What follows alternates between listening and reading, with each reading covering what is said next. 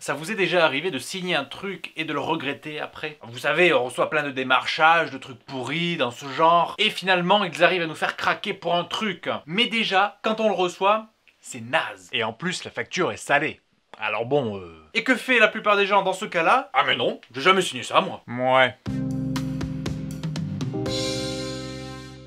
Bon, là, l'effet, c'est pas du tout ça en fait. C'est l'histoire d'un bonhomme qui va louer des entrepôts pour y stocker ses meubles. On va dire Monsieur Triple X. Oui, parce que c'est Monsieur X et il a la triple nationalité. Je suis pas marrant. Bref, il loue des entrepôts, sauf que, bien évidemment, au moment de payer la facture... Ah mais non, j'ai jamais signé ça moi. Sauf que là, la société One Pièce... En vrai, c'est la société Une Pièce.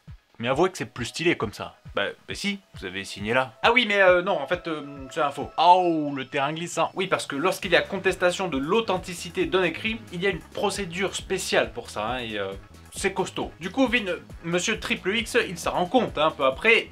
Du coup, Qu'est-ce qu'il fait? Eh bien, on empire la situation, donc il produit un autre document, ses propres exemplaires du contrat, où il dit « Mais non, regardez, là c'est fait pour le compte de la société, j'ai des grands pieds !» Donc vous avez saisi le raisonnement, c'est pas lui personnellement qui doit payer les loyers, mais la société, j'ai des grands pieds. Les juges du fond, là, vous n'avez pas respecté un principe basique du droit des contrats Sauf que, les juges du fond, ils sont pas bêtes, en fait. En comparant les deux signatures, ils ont un peu vu qu'il y avait anguille sous roche. Donc, évidemment, ils ont dit « Te moque pas de nous, mon coco, il faut que tu payes !» Oui, mais là, c'est écrit pour la société, j'ai des grands pieds c'est elle qui doit payer. Non, l'acte 1 est antérieur et en ton nom personnel, c'est toi qui payes. Ben non, puisqu'après, la société One Piece a fait des factures au nom de la société J'ai des grands pieds.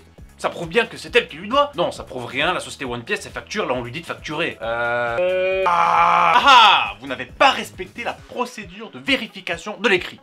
Vous n'avez pas fait d'expertise graphologique.